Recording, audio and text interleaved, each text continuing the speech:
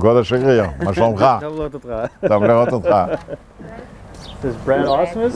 This is Brad Ausmus in person. The, uh, Very nice to meet you. Israeli nice. baseball entry. Yes. yes. It's my wife. Liz. What's your name? Liz. Liz. Very nice meeting you.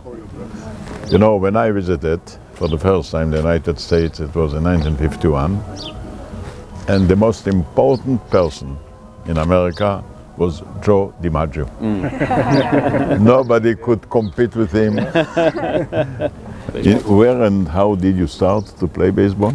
I started when I was a uh, little boy. You know, they have rec recreation leagues, little Yes. leagues, Yes. and um, I just kept playing until someone told me I couldn't.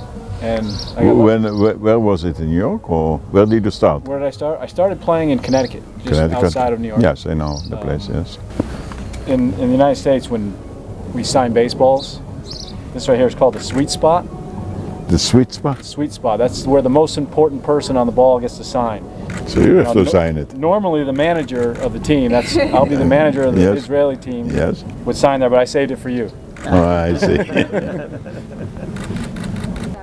and turn around, there so you go. go. Oh, okay. Peres,